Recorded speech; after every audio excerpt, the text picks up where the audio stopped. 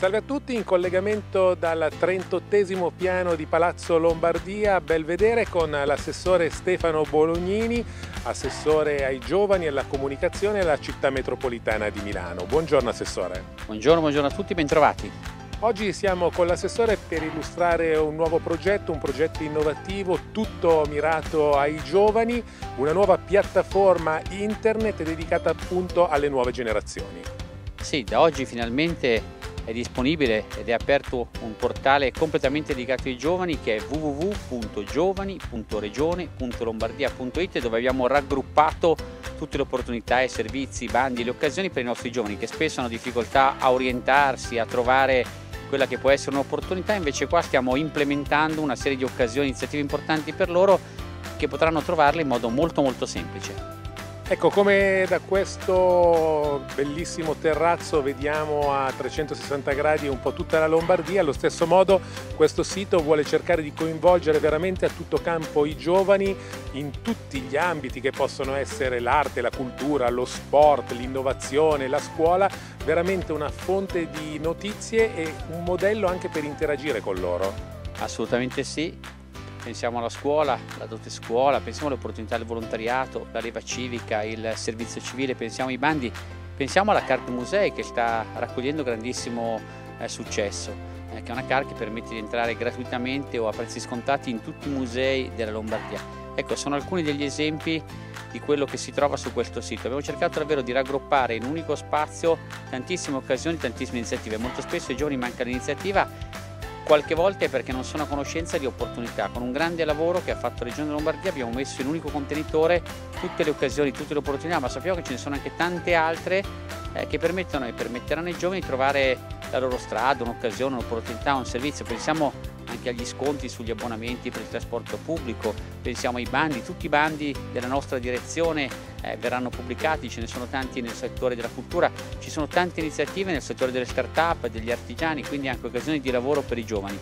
Eh, capita spesso che i giovani abbiano un'idea e magari non trovino la strada per realizzarla. Io penso che su questo portale, ma anche sul canale Instagram Generazione Lombardia, che da qualche mese è attivo e sta raccogliendo grandi successi, i giovani possono trovare tante occasioni per essere ancora più protagonisti e per crescere ancora di più. E poi la notizia è rivolta anche ai giovani ma anche ai genitori o ai nonni dei giovani perché come diceva lei tante volte magari sono proprio le famiglie che devono mettere le mani in tasca per eh, sostenere i loro figli e i loro nipoti e lì eh, questi genitori o questi nonni possono dare dei consigli perché magari hanno più tempo, hanno più voglia di andare a verificare cose che magari si danno per scontato ai propri figli e nipoti.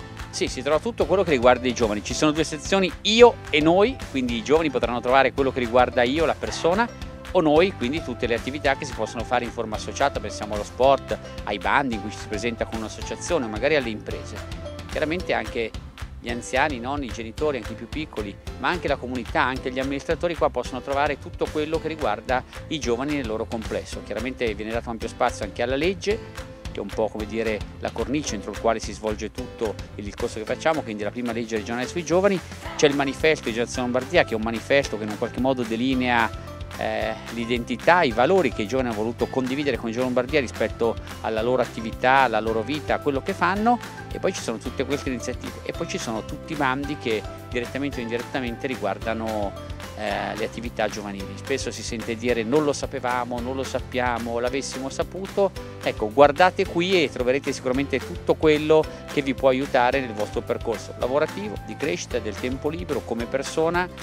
C'è anche una parte legata alla prevenzione, quindi alla salute, eh, a tanti temi, pensiamo, ne so, alla prevenzione e all'educazione alimentare, ai temi della sessualità che sono molto importanti per i giovani. Ecco, qui ci sono degli approfondimenti e poi dei link che mandano e rimandano ad altre pagine regionali dove poi chiaramente si possono trovare anche degli approfondimenti.